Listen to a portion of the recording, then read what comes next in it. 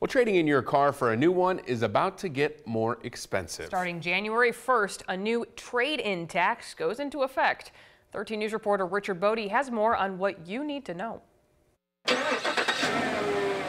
If you're considering trading in your car, it could cost you. If they're trading in like a 2016 Cadillac Escalade with a $35,000 trade-in value, they're only going to get credit for $10,000 of that value. So they're going to be losing out on over $1,200, $1,300 in sales tax savings. Under the current law, you're only taxed on the difference between your trade-in and your new car.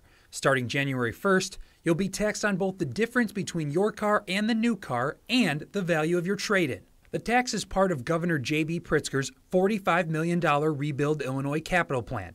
This year, Illinois introduced some new taxes in order to update infrastructure that Pritzker says Illinois is in desperate need of. But Rick Herter says he's afraid this tax will hurt business. People are going to be hanging on to their more expensive cars longer. As for consumers, is that fair to consumers?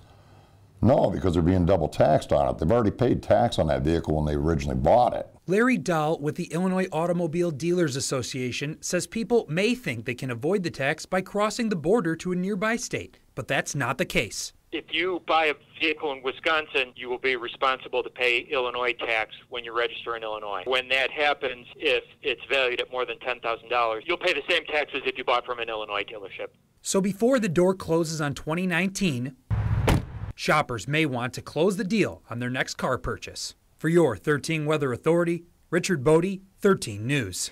An important note, heavy-duty trucks, pickup trucks, and utility vans are exempt from the new law. And if your trade-in is worth less than $10,000, you are also exempt from the tax.